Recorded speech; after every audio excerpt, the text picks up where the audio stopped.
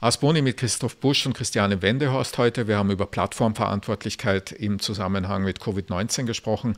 Der Hintergrund dafür ist insbesondere dieses Buch hier, Coronavirus uh, and the Law in Europe, das mit herausgegeben ist von Christiane Wendehorst, in dem Christoph Busch einen äh, Beitrag mitverfasst hat, der sich mit digitalen Plattformen und Covid-19 beschäftigt, der ähm, auch der Anlass für dieses Gespräch war.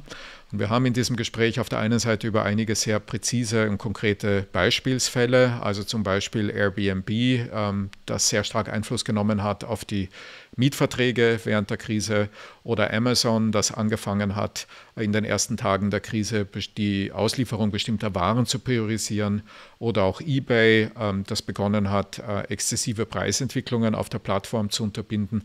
Wir haben also auf der einen Seite über solche Beispiele geredet und Bush tut das in seinem Aufsatz ähm, in größerem Detail.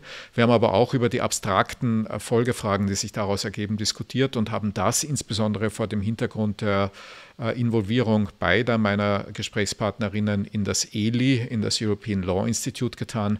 Das European Law Institute ist eine Einrichtung in Wien oder mit äh, Standort Wien, aber äh, Mitarbeiterinnen und Mitgliedern aus der ganzen Welt, das sich mit der Entwicklung von Guidelines, äh, Prinzipien und ähnlichen rechtlichen Instrumenten beschäftigt, die Einfluss nehmen sollen auf die Entwicklung unserer digitalen Umgebung, zum Beispiel im Bereich der Plattformen, aber auch jetzt in konkreto in diesem Herbst mit Prinzipien für eine Digital Economy. Und wir haben uns diese Beispiele ein wenig näher angesehen. Wir haben über das Verhältnis von, äh, von Rechtswissenschaft, anderen Disziplinen und Rechtsberatung gesprochen.